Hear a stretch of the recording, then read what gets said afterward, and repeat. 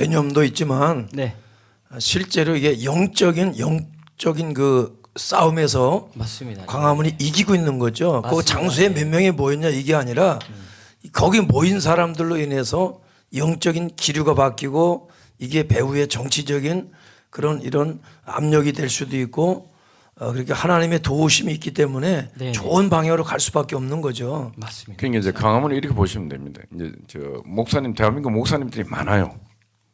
근데 그 뭐 목 기독 종교적으로 하면은 목사님이 계시니까 영적 운동이다. 근데 실제로 대한민국 땅은 영적 이전에 이념적 정치적 문제가 심각해요.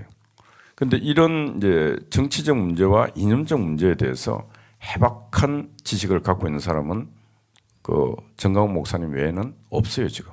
왜? 그만큼 대한민국 건국사 이승만 정부부터 시작해서 이 건국사에 대해서 저는 제가 늘 그래.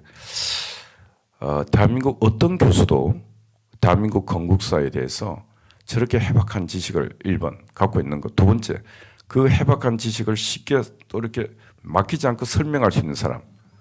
대한민국 교수 중에 없습니다. 없죠. 전 목사님 외에는. 뭐. 그래서 그 두 가지를 이 겸비하고 있기 때문에 그게 이념, 영적 두 가지 운동이 연동이 되면서 지금 저 많은 시민들이 환호하고 이제 종교인들은 종교인들대로 어, 영적인 부분에 또 일반인들도 많이 동참해서 그 목사님이 하시는 말씀 그 말씀들이 정치 이념적으로 상당히 옳고 내가 모르는 말씀을 계속 하고 계시고 근데 그 들어보니까 다 옳다는 거지. 맞습니다. 예. 그게 이제 연동이 돼서 지금 저게 어, 저 불이 꺼지지 않고 자포들은 어, 지난 17일이 집중 집회예요.